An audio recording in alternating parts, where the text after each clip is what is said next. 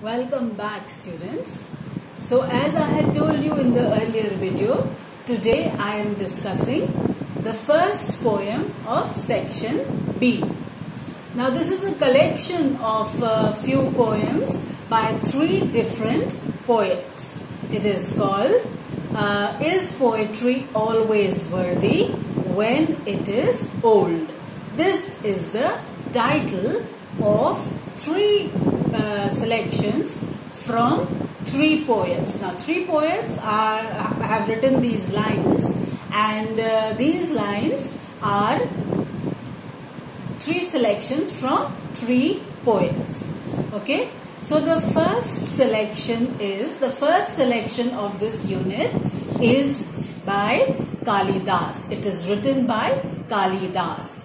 As I had told you earlier, the poets of section B are Indian poets. They were born in India and were writing in their own regional languages.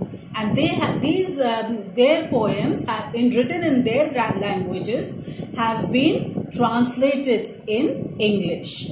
So the first poet of section B that we are discussing today is Kalidas.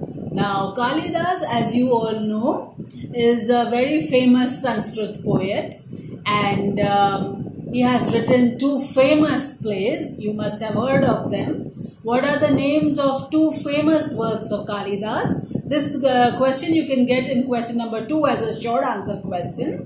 Name two important works of Kalidas. So the two important works of Kalidas are Shakuntala and Meghdut. He has written these two dramas. Kalidas has written these two dramas. Besides these two dramas, he has written many poems which are collected in his collections of poems. So this, uh, these four lines written by Kalidas are uh, called Is Poetry Always Worthy When It Is Old? I will read out these lines to you so that you can understand the text better. Listen to the text carefully. I am reading the lines of the poem. Listen to the text carefully. Is poetry always worthy when it is old? And is it worthless then because it is new? Reader, decide yourself if this be true. Fools suspend judgment, waiting to be told.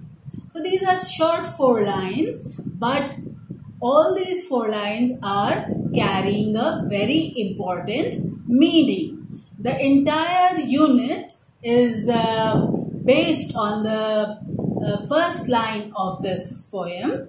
The first line of this poem is Is poetry always worthy when it is old?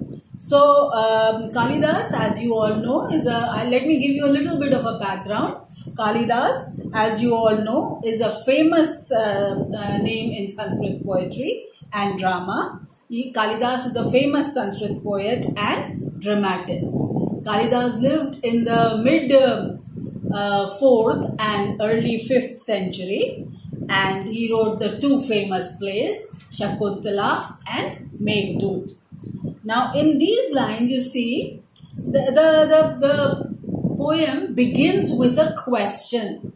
Is poetry always worthy when it is old? So, what is the poet doing?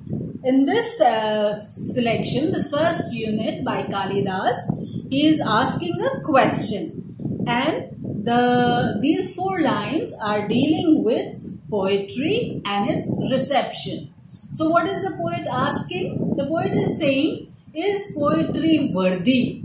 Is poetry good? Only when it is old and when it is new it is useless? Who has to decide this? The reader has to decide this. Okay? Reader, decide yourself if this be true. Decide what? Is poetry worthy when it is old and is it worthless when it is new. Reader, you have to decide yourself.